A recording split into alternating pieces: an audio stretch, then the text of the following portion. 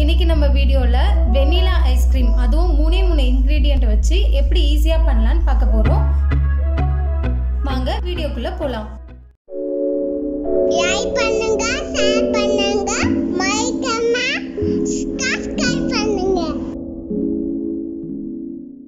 தேவையான இன்க்ரீடியன்ட்ஸ் பார்த்துடலாம் நான் அரை லிட்டர் கெட்டியான பால் எடுத்திருக்கேன். தேவையான அளவு சர்க்கரை எடுத்திருக்கேன். ரெண்டு ஸ்பூன் கார்ன்ஃப்ளவர் பவுடர் எடுத்திருக்கேன். வெனிலா எசன்ஸ் எடுத்திருக்கேன். இப்போ ஒரு பவுலில் நம்ம எடுத்து வச்சிருந்த கார்ன்ஃப்ளவர் ஆட் பண்ணிக்கலாம். இதை மிக்ஸ் பண்ணுறதுக்காக கொஞ்சமாக பால் ஆட் பண்ணிக்கிறேன். இதில் கால் ஸ்பூன் வெனிலா எசன்ஸ் இது மூணுத்தையும் நம்ம நல்லா பீட் பண்ணிடலாம். இப்போ இதை எடுத்து வச்சிடலாம். இப்போ ஒரு பாத்திரத்தில் நம்ம எடுத்து வச்சிருந்த பாலை ஆட் பண்ணிக்கலாம்.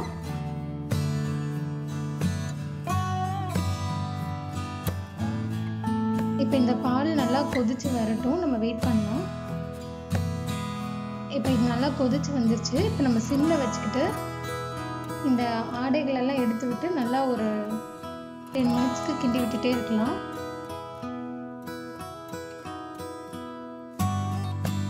இப்போது நம்ம எடுத்து வச்சிருந்த சர்க்கரை எவ்வளோ நம்ம இனிப்புக்கு ஏற்ற மாதிரி நீங்கள் ஆட் பண்ணிக்கோங்க. இது கலரி விட்டுட்டே இருக்கலாம்.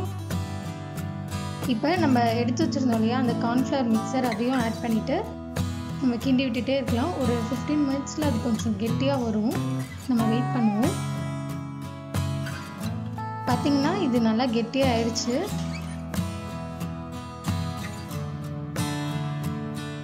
இந்த அளவுக்கு கன்சிஸ்டன்சி வரணும்.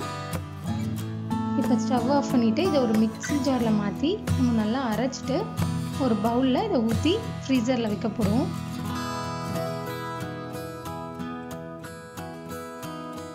ஒரு டூ ஹவர்ஸ்க்கு நம்ம வச்சிடலாம் இதை ஃப்ரீசரில்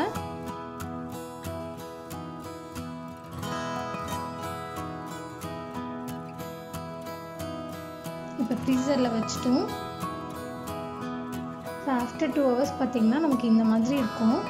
இப்போ இதை திரும்ப நம்ம மிக்ஸி ஜாருக்கு மாற்றி அரைச்சிடுவோம். நல்லா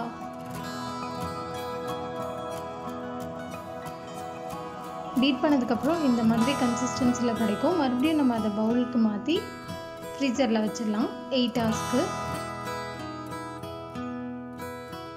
இப்போ எயிட் ஹவர்ஸ் கழிச்சு நம்ம எடுத்து பார்த்தா வெண்ணிலா ஐஸ்கிரீம் ரெடி இப்போ எடுக்கும் போதே பார்த்தீங்கன்னா தெரியும் அது எப்படி இருக்குன்னு சொல்லி. ரொம்ப நல்லாவே வந்துச்சு.